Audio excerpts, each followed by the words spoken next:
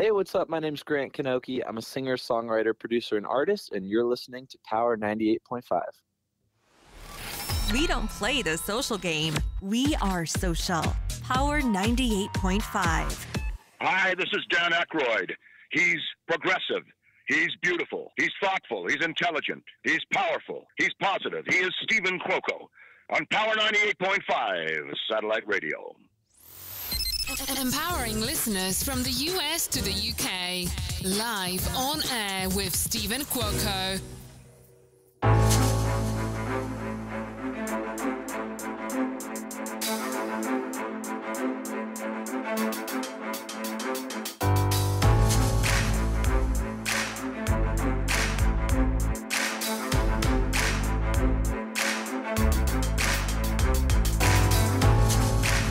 We are starting off Tuesday on the best note that you can ever imagine. Now, everyone's heard about it. We've gotten some great feedback, and I mean really, really good feedback. I want to thank Farah for setting this up. We have, come on now, some of the DMs that I've been receiving and my assistant told me about when we just posted already started rolling in. They were like, Chase, what? Chase who? Yes, Chase DeMoor you know him very, very well this season, and I've been catching up on it. Uh, first season was kick ass. Uh, Too Hot to Handle, Netflix, season two. But yet, what's even more, I'm going to say profound is Chase, you are a professional football player, and this is what everybody knows you by. But now you're recognized all over the world on Too Hot to Handle on Netflix season two. yeah, it's it's incredible, man. Like you wake up one day and your whole life's about, you know, what time's the workouts, what are we eating today, you know, where can I get my recovery, and then you go to sleep and you wake up the next day. It's like, okay, what picture is he posting with what girl? So it's been a whirlwind, man. It's unreal, unbelievable, and I can't be more excited about it. You're you're 24. You started in football when you were 14. Did you ever think at 14 you not only would be recognized in in the world of sports, but now in television? But I mean, it's even bigger. I mean, your career is like, woo. Yeah, it's it's crazy. I remember, you know, so I like I lost my dad when I was 10 years old, and like I remember, you know, we always had like this dream of you know being like successful and taking care of the family at like you know whatever it costs.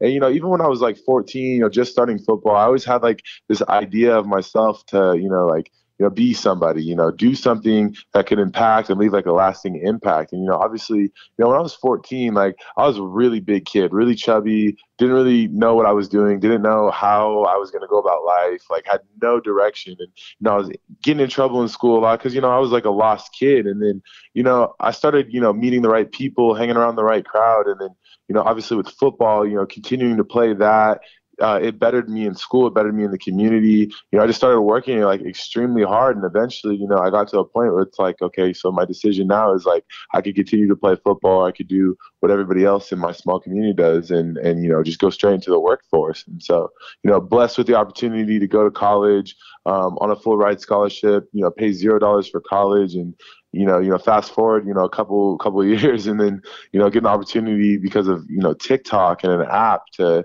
you know um, provide me an opportunity to go on Netflix and become like this international superstar basically overnight. And it's just it's amazing like how much stuff happens between you know then and now, if that makes sense. So when you had lost your father and and growing up, you and your mother became really really close and you know, uh, did you feel like you needed to be the man of the house at a young age? What was going through your mind, you know, leading up to later in your teenage years?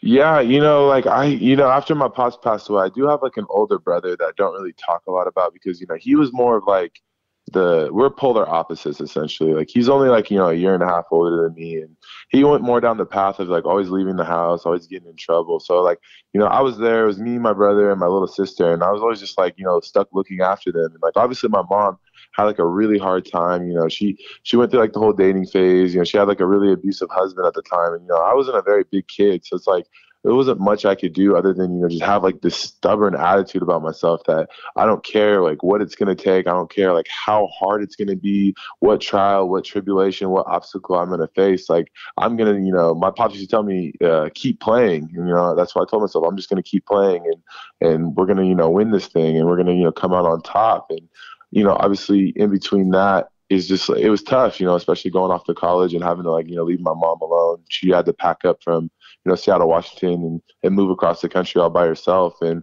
I felt really bad about it because it's like, well, I want to be there with her, I want to help them, but at the same time, the only way I can help them is like they're gonna have to you know let me go away, let me handle business, let me take care of it, and then you know eventually at the end of this thing, I want to bring it back to them full circle. So. And you had studied in school for relationship therapy. How did that play a key role? Like, what led up to you studying this? Yeah, it's crazy. So like, um, I had never had a girlfriend in high school. I never really even like talked to like that girls until honestly like my second year of college. To be honest with you, and um, you know, going into school, I was like, I don't know what my major is going to be. Like, I think I want to be a cop, but like everybody tells me, you know, if you want to, you know, be a cop, like that's all great and stuff, but like get a degree in something just in case you don't want to do that. And you know, I was sitting there thinking, like, what is something that I could do to help other people? And you know, a big part of that was like, you know, I think relationship therapy especially like in today's generation it's like so manipulated by like social media and like i feel like a lot of older um, people who do it don't really have the same understanding of you know what it's like or how to deal with it is like you know potentially that I would have and you know so i was in school you know i really really like talking about you know like love languages like body language i love talking about like how the brain works and how you know it's like almost an addictive um, thing to you know be attracted to somebody and it just really interested me so i kind of like ran with that I, I toppled that with you know like adolescent development i'm studying that in school as well because like you know i had like full intentions on you know getting a phd in this becoming like a doctor and you know really um, you know leaving an impact on you know children's counseling um, as, as far as you know uh, marriage counseling as well to you know like try to help people um, in the best possible way that I could you know especially if if football didn't work out so do you find that you utilize those skills still chase to this day with friends or strangers or people that you meet Oh, absolutely. The it's it's actually really funny because the things that you learn in school, like I was like, oh, like I felt like what I would learn in school, I would never apply in life. But once I got to college and I was doing things that I could actually understand that I like, that I enjoy, that I could use. Like I learned so many, you know, magnificent uh, traits to like talk to people. I learned how to, you know, make great eye contact. You know, we talk about like looking into, you know, the left eye of person because you know it's the most sensual part of, you know, having somebody um, reciprocate communication. You know, understanding proper um, hand movement, like uh, facial expressions to really come across as, you know, genuine. I understand you know how to listen to somebody how to like you know take mental notes you know how to make people you know feel good about themselves. And you know i use that you know to my advantage all the time especially when i was in college you know. You know we all have that phase where we want to date everybody so you know i used it a lot you know for good and for evil if that makes sense. Mm. it's uh it's emotional intelligence. I have a background in that so that's what i hear in oh yeah. and biofeedback yeah it's all it's all about feedback. And you know it's crazy about you know the whole like journey the whole process a lot of people don't know this about me but you know in 2019 uh you know i was essentially on my deathbed. You know i was in the hospital. I thought you know the doctors thought, you know, I wasn't even gonna, you know, be alive here very soon because I caught this really rare um, eating disorder in the middle of, you know, college, in the middle of like, you know, I came out of school, I was in that pro day training, but I was also still taking classes, and I was just, you know, overworking my body, and you know, I got this really r- rare sick um, eating disorder or condition, disease um, called achalasia where essentially like you know like my esophagus um, and nerves in it you know died and I couldn't really you know eat or drink or swallow or anything like that. And so I ended up you know losing all this weight um, you know at six five you know I dropped down to like almost 100 and you know like 70 pounds. And you know it was it was like a it was a process because it's like you know when you go through stages like that your body goes through like so many shocks and you know this kind of like what led me into you know wanting to finish my degree wanting to you know pursue football further and obviously have like this social media understanding is like you know when you go through that process you know your body starts you know shutting down like i remember like i'd go through like chills like i was having like you know vivid delusions of you know me talking to my dad and like having like all these conversations about i want so much in my life, but I feel like I was letting myself and everybody who believed in me down. And then the people that didn't want to see me make it, I was, you know, just proving them right. And it, that stubborn uh, fire inside of me really started to like ignite. And I was like, you know, how am I going to, you know, keep playing in this situation? There's nothing I can do. And, you know, fortunately, um, they found a doctor in Europe who got the flyover. He did like an emergency, um, uh, gastrointestinal surgery on me, or like basically they like they cut me up and they cut all that stuff out and they make like a, bunch of fake sphincters and stuff so that I could you know eat and drink again. And obviously they're hydrating me up with like the IVs and stuff. But you know, spent quite some time in the hospital that summer, really like evaluating my life, evaluating um, like what I needed to do. It kind of like brought me back down to earth essentially and brought me back down to my roots so that, you know, I could, I could revisit my vision, re-see like what it is that I wanted to do. So. And are, uh, with this, Chase, are you still playing football? Is there any concern with, while playing sports of someone maybe tackling you or, or whatever in the area of your surgery? Yeah, so I remember, you know, one of the first questions I asked the doctor was like, "What are the odds that I play football again?" And, you know, they would tell me things like, you know, like typically, like a normal person, uh, it takes about you know six to eight weeks before they can lift anything over, you know, like 15 pounds. I shouldn't carry anything heavier than like a gallon gallon of milk. Really? And like I I kind yeah, I kind of like smirked a little bit and I was like I looked at my girlfriend at the time I was like, well good thing I'm not an average person. you know what I mean? So it's like I like the stubbornness. And so what I started doing was, you know, I, I you would, you know, would wait for the nurse to like leave the office room and I couldn't really move. You know, obviously they cut open your your abs and it's like you don't realize how much you use your abs to move until uh, you don't have them anymore. I remember I would have like my girlfriend at the time. She'd like help me out of the bed, and I was like, just let me do a couple laps around the room, and I'll get back in bed and stuff. And it, it used to kill me. Like it was the most most excruciating pain that you could think of. And obviously you have like all these meds and stuff that they give you to like you know numb the pain. And I was like, you know, starting to spit the meds out because I was like, you know, I want to feel this. I want to, I want to, I want to understand it so that I can move on from it. And like that's the only way I feel like I personally can heal is if I really feel this. And, you know, like I felt the pain a little bit. And, you know, eventually, you know, I started getting a little bit more dangerous and was trying to walk down the hall, walk back and do a couple laps. And uh, you know, I got to the point where you know I got caught one day by the nurse. I was downstairs in the lunchroom trying to trying to get some soup, and I it was like quite a ways away, so it was like probably like a 10, 15 minute walk. And I was like so exhausted by the time I got there, and all I hear is them freaking out, paging me on the intercom, like we got to find this kid, blah blah blah. Well, anyways, they got me back to the room, and I was sitting there, and the nurse was like, "You can't do this. Like, you need to, you know, rest. You need to recover." And I was just like, "Oh yeah, no, I'm really sorry. I don't know what I was thinking," and blah blah blah. And you know, basically, I I made good friends with her to the point where it was like, you know, she was like, okay, like we're trying to get you released so that you can go home. We get it. You don't need to be here for six weeks anymore. And I was like, oh, perfect. And she's like, okay, so like we got your release papers, but you have to make me a promise that you're not gonna work out when you go home. I was like, oh yeah, you have my word. I promise. I promise. And like, you know, as soon as I left the hospital, I told my girl, I was like, yeah, just take me to the gym. So oh. I was in the I, I, was in the gym. I was I was just you know it started off with just like the bands uh-huh. and, and the and the bar. Like no wait, just to like get back into the movement. You know it was like really heavy for me, really hard. But like it was good because like I was able to like you know recover faster. I really you know started impacting my body. Like you know like I'm gonna be able to play football again. Like that's what I would tell myself over and over again. Like I'm gonna play. I'm gonna play. I'm gonna play. And like you know throughout that process, I never announced it to the league at the time. And so like you know I checked out of the hospital in like August. Started training August and September. Um, at the time was when like the Canadian NFL, the CFL is like a lot of people refer to it. Um, provided me with a contract to go play for the Montreal Alouettes. Montreal Alouettes had no idea that I was even sick. Like they expected me to show up to training camp you know, a 260 pound defensive end. I'm sitting here at like, you know, 180 pounds looking like a wide receiver, mm. can't even lift 100 pounds. But, you know, in my head, I was like, okay, now I'm on a clock. Now it's ticking. So now I got to, you know, go faster. So obviously I sped up the process of, you know, eating more food by the day, lifting more weight, so on and so forth. And, you know, by December, I was, I would say I was like a good, you know, like 85, 90% ready to go. So it all actually worked out, you know, in my favor and it bettered me because of it. Talk about resiliency. I mean, damn.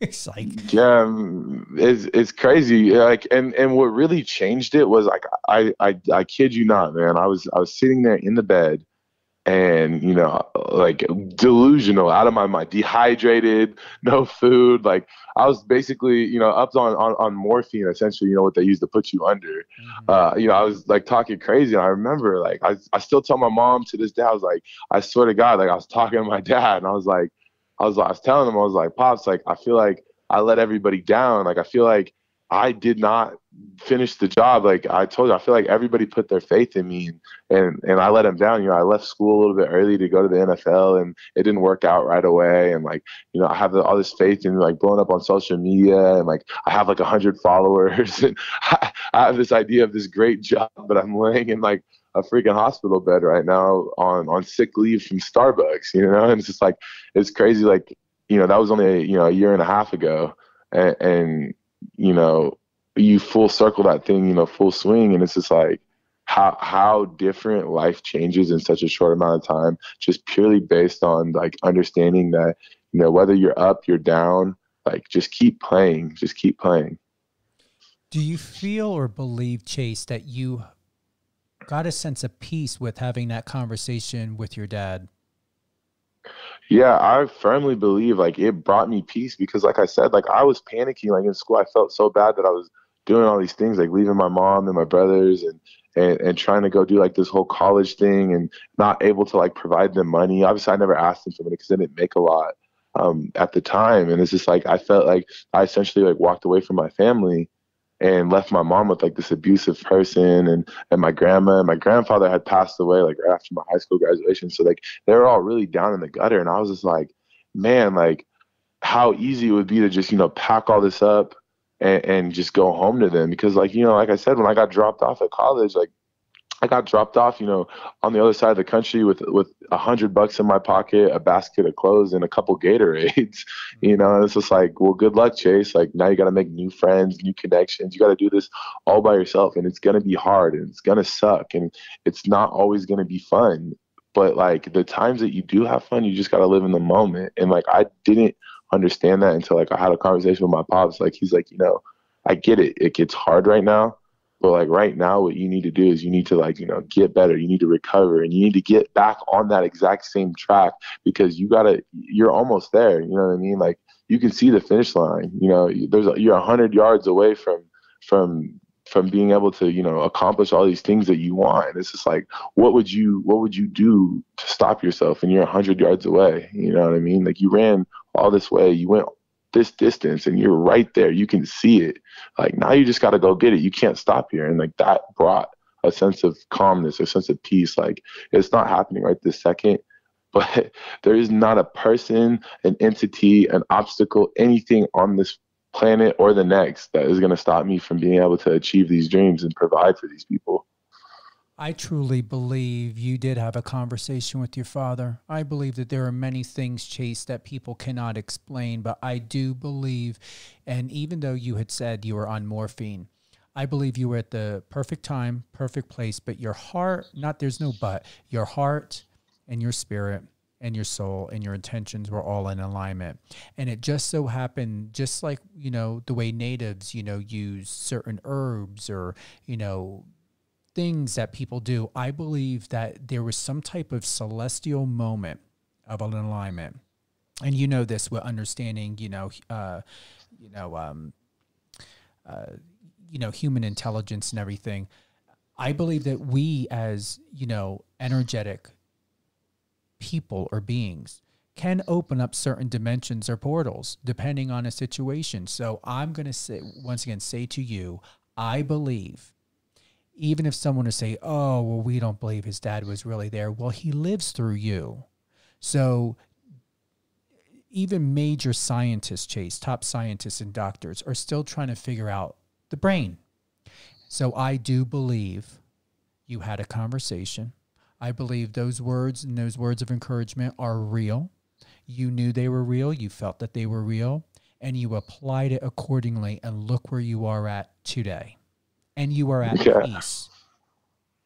Yeah, it's it's it's it's amazing. Like I said, like it's it's without that conversation, I don't know. You know, without uh, you know, experiencing like that sickness, like I firmly believe like, you know, at, at a certain point, I remember right before I was to hospital, I was like, okay, like maybe maybe I should just, you know, take this nine to five job and like just go and like make some money for my family and then try to circle back on this thing, you know, in a few years. And I was, just, it was the best decision of my life to absolutely not do that, you know. And like a lot of people look at like that sickness and look at that time, I, that summer I spent in the hospital, like like you lost the summer of your youth, and it's like I needed that, you know. I needed to to remember like where I came from. I needed to remember what it feels like to hurt, to have like, you know, emotional limit. I needed to remember what it's like to have that conversation with my dad.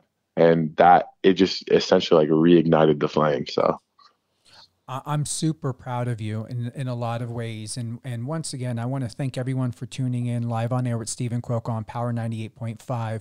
I want to strongly uh, reference and, and make a, a statement to Farah Curie over there at Ingenuity Live, who the great team they manage Chase. So we have Chase DeMoor from Too Hot to Handle, Netflix, season two. If you haven't watched season two yet, I encourage you to go back, start in season one, and uh, you know catch up to season two. Or if you feel like you know what, screw it, we don't need to do season one. We love Chase DeMoor. We want to, you know, we love Nathan and everyone else that we're reading and hearing about the cast. And just start out with season two. Then you can't go wrong. So big shout out to Farah Curie. Are you currently with the Houston linemen. Uh, you're gonna are you doing a spring league or what's happening with this, Chase? Yeah, so it's actually a really, really confusing concept because at the time of the release of the show, that my team was in Houston. But so basically, what had happened was is um, I took a release from the Canadian NFL from the Montreal Alouettes back in February, and uh, was was a free agent, like just kind of like training. I was hoping to get back in the NFL, and so I got picked up by this indoor football team called the Arizona Rattlers, and I was like, you know, I don't really want to play indoor football. I feel like you know I have a good shot to either you know go back to the Canadian NFL or you know to the actual NFL, and um, so I like I I went to like one of these workouts for the what's called the spring league, and essentially the spring league is this NFL developmental uh, uh, minor league essentially where you know all these ex NFL and CFL players go and play um, to have like a shot at you know getting back into to the regular NFL. And uh, you know it's it's pretty big now here in the U.S. because you know obviously we play on you know Fox and Fox Sports and all that, and, so essentially what it is is it's it's eight teams, four in the North in Indianapolis and four in in Houston, and and my team is called the Linemen, and we were actually in Indianapolis, and we were like the new add-on team. We're supposed to be like the the the the crappy one essentially that they put all the bad players on and we were just you know supposed to get blown out in every game. And we ended up you know we lost the first game by a touchdown but after that we we beat the snot out of everybody like blew everybody out of the water and and got an opportunity to fly to Houston to play the best team in Houston um, for the Mega Bowl, which is essentially the Super Bowl of the Spring League, like the championship game. So, in the process of when the show came out, I was in Houston um, with the linemen playing for the championship. So, it was very much referenced as the Houston linemen, but it's actually the Indianapolis linemen. So, congratulations. It's it's an Thank I mean, seriously, can it lead to the NFL? Do you believe it can be? Oh, absolutely. You know, like our team, my team especially, like I, I was a starter, I was a captain um, on the defense, and you know we we were the number one offense as well, and we played against you know the other league's number one uh, everything all the way for the championship. But the week prior to that, you know, uh, you know one team had like you know six seven guys get signed in the NFL, and like still to this day, everybody's you know getting picked up every other day. Um, it's mostly CFL right now because NFL teams are out of the office, but you know I feel like you know once training camp for NFL teams start, and you know guys start getting cut or hurt or whatever it is in, in the pro sports world, know then they start you know picking from us in the spring league. And I, I firmly believe you know like as a as a leader on that team I'd like to see that entire team go to the NFL and I, I firmly believe that entire team can go to the NFL and uh, you know I'm just hoping to be one of the guys that gets picked up as well. So.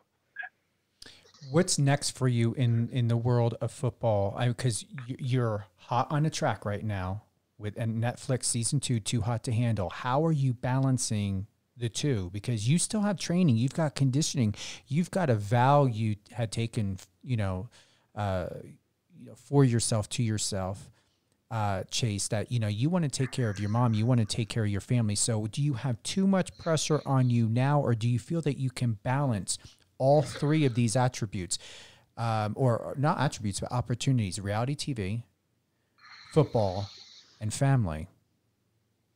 Yeah, absolutely. And and my mom, she's like, you know, my biggest fan and she knows she's like she never worried about pressure with me because she knows I thrive in it and I love it. And it, it helps me perform better. And like, yeah, it's a lot of rules. Um, as far as your question, what's next for football is like, um, you know, I'm hoping to get into the NFL. If the NFL doesn't work out, hopefully the CFL. And then if either one of those do not work out, I already have the indoor contract that I could go back and play, you know, tomorrow if I wanted to. But you know, the USFL is, is going to be like a, a league that was around a while ago um, back, you know, before it merged with the NFL and, and all that stuff happened with it. Um, it's coming back next year. So the spring league, the league that I played in this year, all those teams are essentially going to that. It's owned by the same guy. They're all going to that. They're going to start, you know, paying us, you know, couple hundred thousand a year to play in that league. So my team has already uh, communicated with us. If none of us are on NFL teams by the time that rolls around here in you know six seven months, that we're all going to get you know picked up by our teams respectfully for there. So um, definitely going to be back on the field within like the next year. You know whether it's NFL, CFL, or the USFL. So lucky enough to be blessed to be put in a situation where there's so many pro football leagues, and then you know in the meantime, you know I stay on top of my training. Uh, you know, my regimen is really simple. Obviously, I'm in Miami right now. I'm working out with, you know, my best friend and one of my former teammates. Um, his name's Fabian. He's a wide receiver. I play defensive line, so he kind of has more up scale, up pace workouts that I do work out with him um, as far as that goes. So that keeps me in shape. We hit those, you know, uh, mid midday. He's actually um, at one right now, but uh, you know, hit those midday. Um, do the social media stuff in the morning and at evening time, and in the middle of the day is more of like uh, my training time. So my training recovering. So. Are you going to continue with reality television? Is there anything after this, or what do you plan on doing? Absolutely, and you know it's crazy. Is like I am under contract with Netflix. I'm not you know uh, they own like my rights essentially, so it's not like I can just go hop on like MTV's The Challenge or anything like that. But what's actually really funny is um, I've actually been um, offered opportunities to go on other TV shows, like you know Love Island um, has reached out to me uh, multiple times. I was actually in the VIP mix to go to that before I was on Too Hot to Handle. Um, so they've obviously invited me back um, this year. I've been, you know, reached out by, you know, Bachelor, uh, The Bachelorette. I've been reached out, you know, by The Challenge, um, and then various other like smaller TV shows. So definitely going to be um, back in front of the screen on another reality TV uh, here very soon. Uh, it just depends if Netflix approves it or not. Mm-hmm. Um, but you know, after like that year mark, um, I am back to being able to do whatever TV uh, I would like to do. So. So when did, if I can ask, because I know you guys are under an NDA, you have certain things you can disclose and not disclose. But is your year coming up? Like, are you saying like after a year you can you're a free agent? Basically, you can go to any network. Yeah, essentially, like after the last batch of episodes, you have like a year, like 12 months, I believe, where it's like you cannot um, go on to like another TV show because you are, are essentially a Netflix employee mm-hmm. um, or a Netflix actor or however you want to look at it. You are owned by Netflix. Um, so they don't want, you know, it, what makes you special, like, you know, if you're on, you know, CBS, CBS loves you for you. They don't want you going on Netflix, you know, just like if you're on MTV, they wouldn't want you going on CBS. Just, you know, it's, it's, it's all based on network and he's just like I'm a Netflix TV personality, so uh, I you know Netflix just owns my rights, so I, I just work with Netflix exclusively, and, and it's it's perfectly fine. I, I love Netflix. Netflix treats us all really well, really great, and I would love to you know continue. I hope you know they continue to do more reality TV shows for Netflix, and I'd love to be a part of each and every one of those. So. Oh, you're not going anywhere. Come on, you're going to be at the top of the roster. you, you are. You know it yeah, I told him. I told him I was like, uh, cast me for Dancing with the Stars. That's the only other one I want to do, and then uh, I'll be back here on Netflix. You can put me on like All American or something. We're going to go ahead before we get into more great details. Chase DeMoor from Netflix, Too Hot to Handle Season 2 is with us here, live on air with Steven Cuoco on Power 98.5. A big shout out to Farah Curie over there at Ingenuity, who represents Chase. Nathan, and many other cast members from uh, Netflix, Netflix series. Uh, we're going to go ahead, Chase. We're going to play uh, a live clip of Too Hot to Handle season two, the trailer.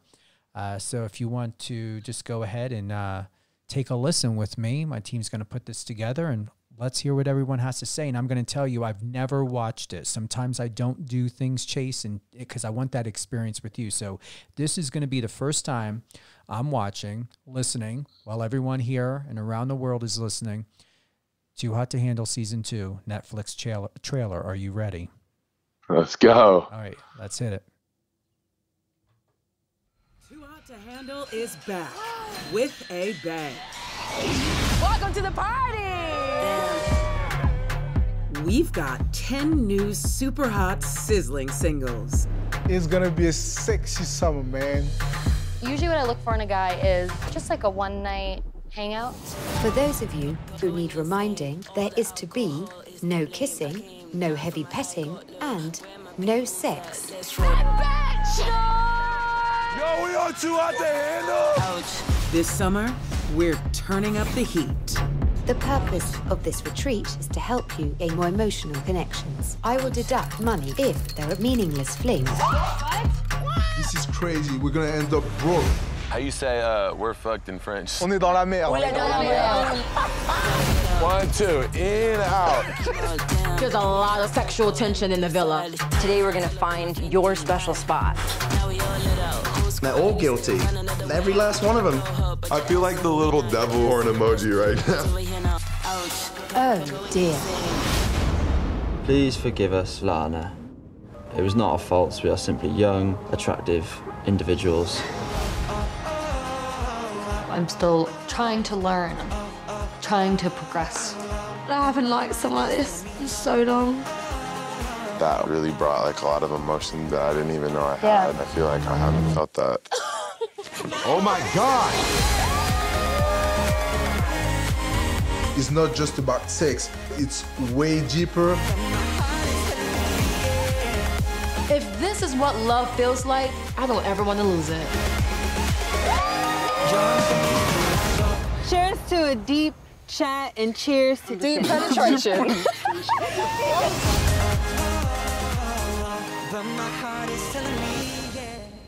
I'm going to tell you, I loved season one. I really, really did. This looks super amazing. Yeah, it, it was it was once in a lifetime experience. Absolutely incredible. I can't even can't I still to this day cannot believe that I got picked to do that. Like it's unreal.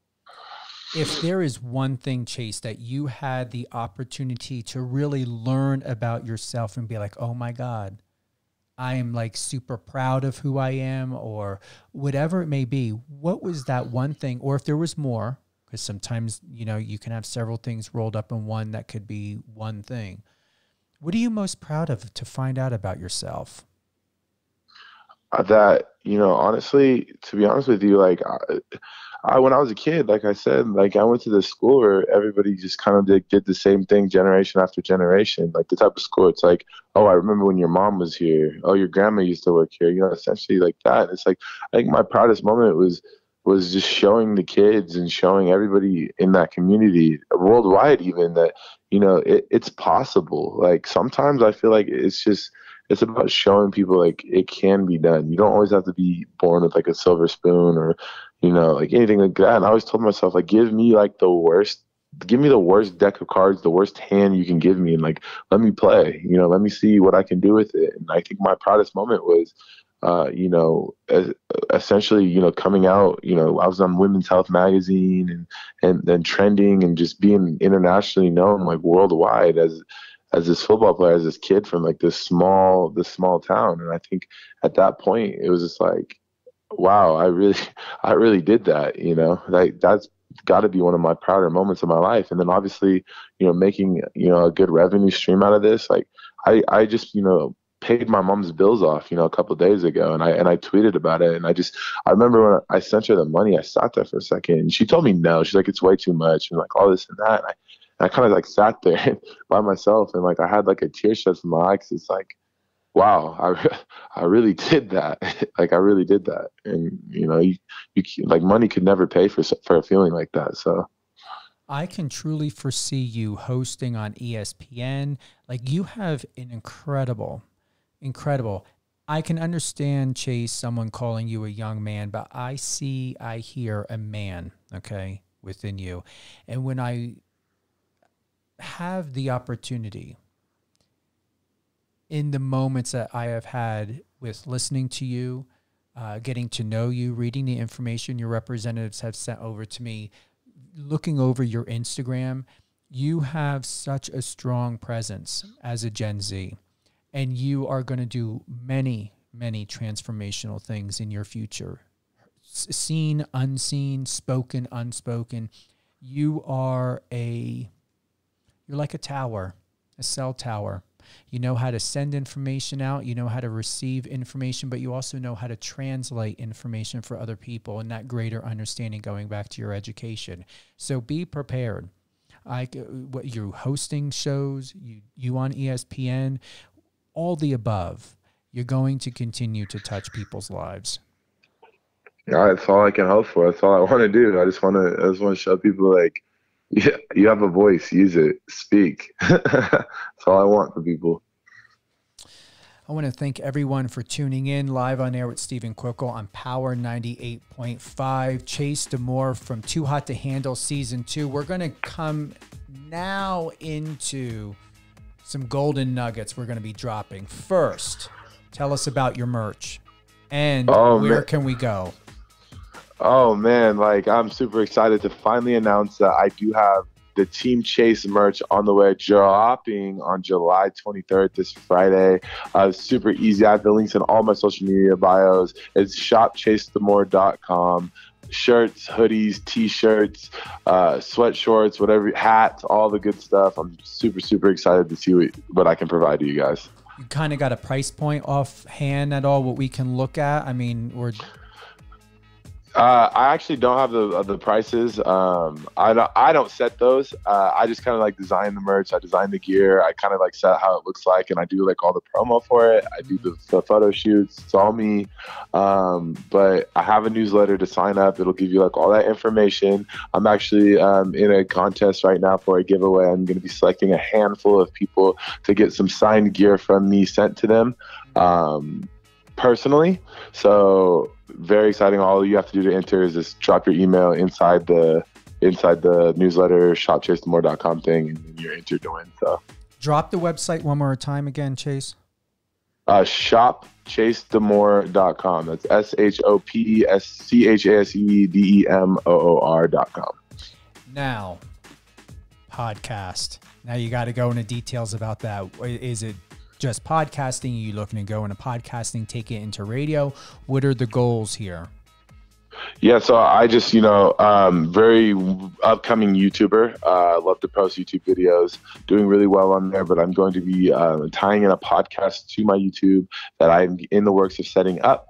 Essentially, my plan is to bring in, you know, um, social media celebrities, TikTokers, and athletes, and talk everything from the sports world to the social media world. Since I'm so connected to both of them, um, get all the drama, all the details, all of the what's in the now. Um, the podcast uh, hopefully will be set up by next month.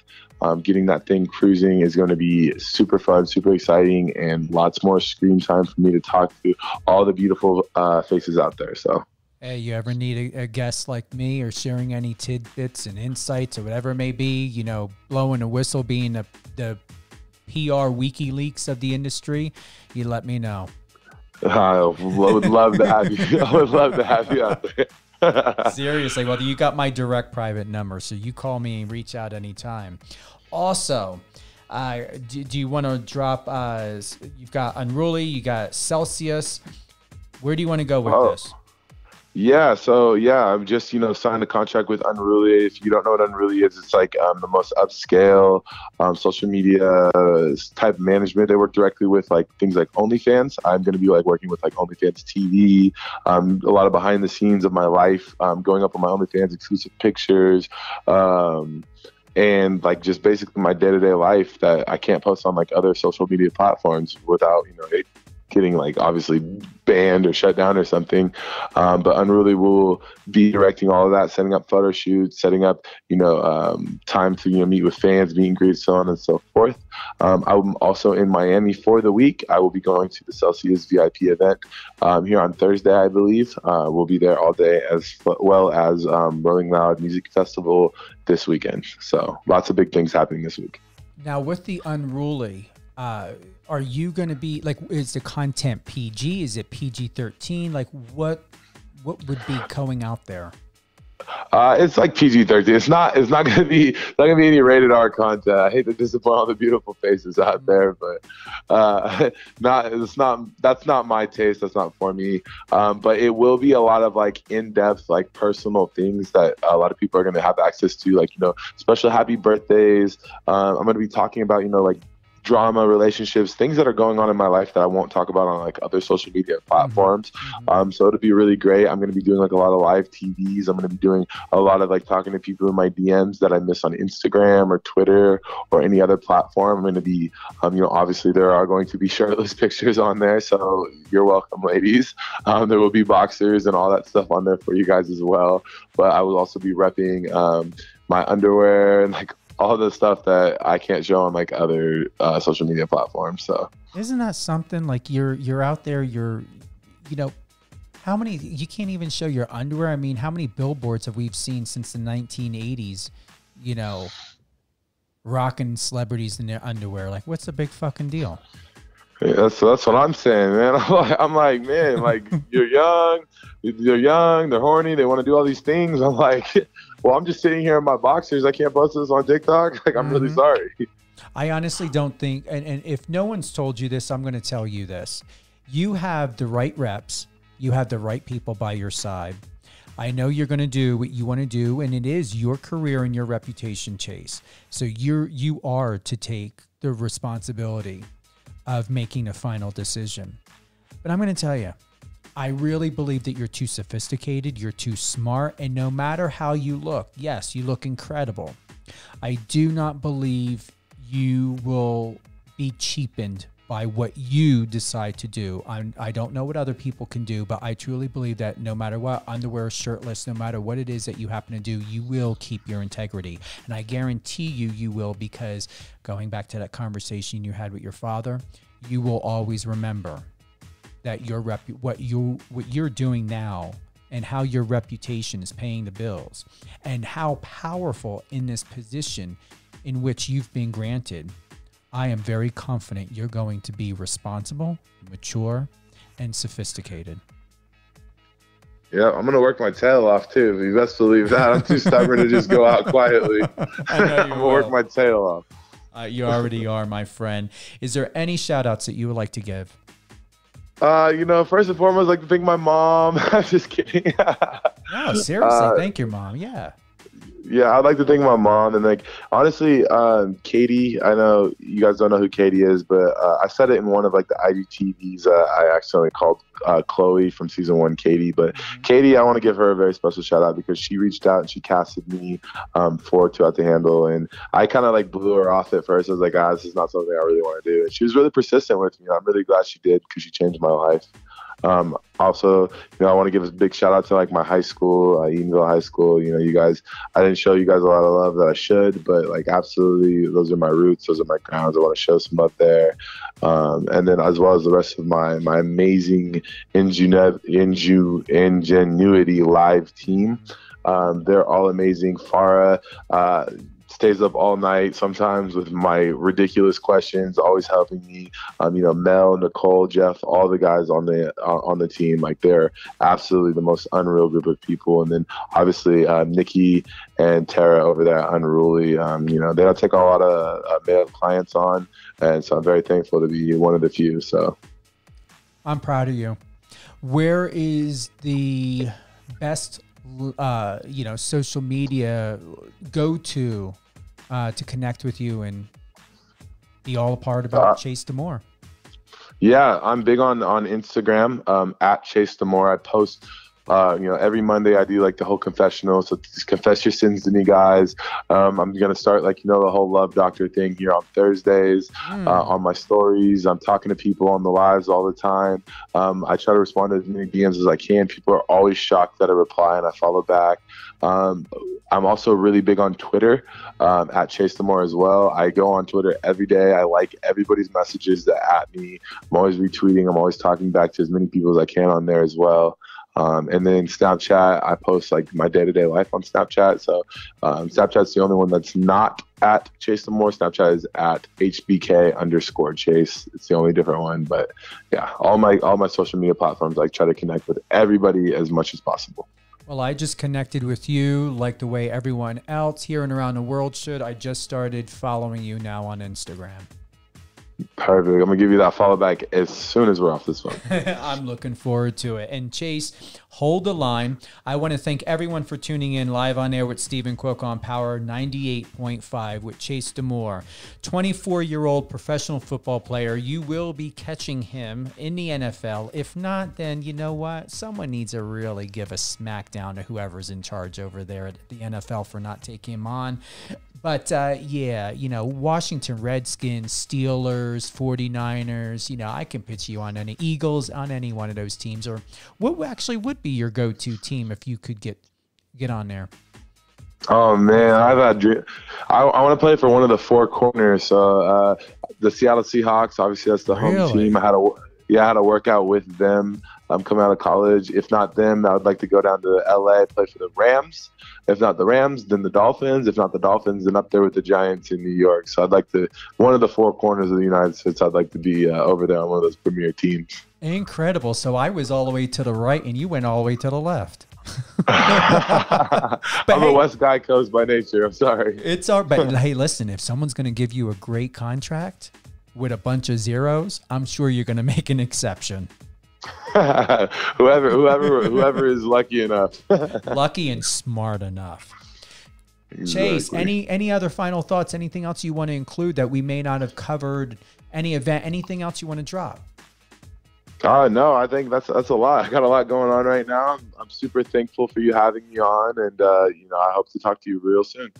I appreciate that. Chase, hold the line. I want to thank my team. Uh, thank everyone for tuning in today. Uh, drop any questions or comments you have in the DMs on the Power 98.5 Instagram. Uh, send an email, whatever it may be. You know, give us any any thoughts. We will be having Chase back on again. Uh, we will be having Nathan from Too Hot to Handle season two coming up very very soon. And I'm looking forward to you, Chase, uh, keeping me abreast of what's going on. I definitely want to attend an event, come on down, pop some bottles, bring my cameras, and, you know, let's make it a VIP Oscars moment. Let's do it. I'm down. I'm happy to have you. Tune in. Uh, we let's see. Today's Tuesday. We are going to air this uh, Wednesday and Thursday, 8 a.m. Eastern Standard Time, 2 p.m. Eastern Standard Time. Chase DeMoor live on air with Steven Cuoco on Power 98.5.